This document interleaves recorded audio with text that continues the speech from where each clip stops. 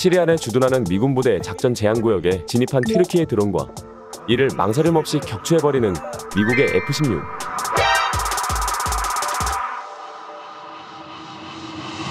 미국 전투기가 시리아 영공에서 튀르키예의 드론을 격추한 가운데 양국 간 골마있던 F-16 이전 문제가 다시 한번 도마 위에 올랐습니다. 월스트리트 저널 등 외신은 5일 시리아 북동부에서 미국 F-16 전투기가 튀르키예군 소속 무장 드론을 공격해 격추했다고 보도했습니다.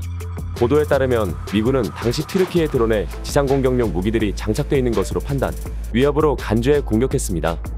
격추된 튀르키예 드론은 현지 미군 부대로부터 500m 미만 거리까지 접근한 것으로 알려졌는데요. 헬라이더 미국 국방부 대변인은 브리핑을 통해 드론들이 작전 제한 구역에 진입했다가 퇴거했다라며 그중 드론 한 기가 다시 작전 제한 구역으로 돌아와 미군 기지로 접근해서 잠재적 위협으로 판단해 드론 격추를 허용했다라고 설명했습니다. 이어 튀르키예 측이 고의로 미군 부대를 향해 드론을 띄웠다는 단서는 없다라며 유감스러운 사건이라고 덧붙였는데요.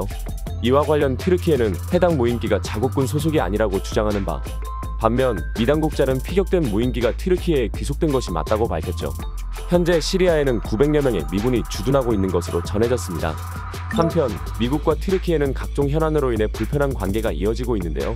북대서양조약기구 나토 회원국인 튀르키예가 우크라이나 전쟁 이후 미국이 주도하는 서방 제재에 거리를 두며 친러시아 노선을 걸어왔기 때문 무엇보다 튀르키예는 미국을 상대로 F-16 전투기 판매를 거듭 압박하며 스웨덴의 나토 가입 최종 비준을 미루고 있습니다. 나토 회원국에 가입하기 위해서는 기존 27개 회원국의 만장일치 동의가 필요한데 튀르키예가 거부권을 행사할 경우 나토를 확대 강화하려는 미국의 설계가 틀어질 가능성이 높아지는데요. 앞서 튀르키예는 지난 2019년 미국의 F-16 40기를 구매하겠다고 밝혔으나 튀르키예의 칠러 행보와 인권 탄압 논란 등으로 거래가 무산된 바 있습니다. 이후 조 바이든 미국 대통령은 지난 7월 나토 정상회의를 앞두고 튀르키예에 F-16을 판매하겠다는 뜻을 전했는데요. 스웨덴의 나토 가입을 이끌어내기 위해 미국이 한발 물러선 셈입니다. 이에 튀르키예는 화답하듯 스웨덴이 나토에 가입하는 것을 지지하기로 했습니다. 그러나 F-16 이전에 관해 여전히 미국 의회 승인이 필요한 상황인데요. 미 의회에서는 튀르키예가 이전받은 F-16을 그리스 등과 같은 나토 회원국에 사용할 수 있다고 우려하고 있습니다. 실제로 그리스는 튀르키예가 지난해 영공을 1만 번 이상 침범했다고 비난의 목소리를 높였죠. 또 튀르키예는 미국의 동맹 세력인 쿠르드족이 장악한 시리아 지역을 위협한 전력이 있습니다. 튀르키예 공군이 지난 1일 쿠르드계 무장 세력의 이라크 북부 근 거지를 상대로 보복 공습을 퍼부은 것인데요. 이는 앙카라의 정부 청사 밀집 지역에서 일어난 폭탄 테러에 대한 보복입니다.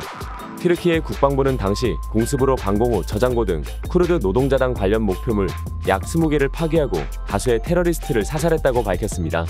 한편 외신은 이번 튀르키예 드론 격추 사건으로 미국과 튀르키예 양국의 관계에 부정적인 영향을 미칠 수도 있다고 분석했습니다.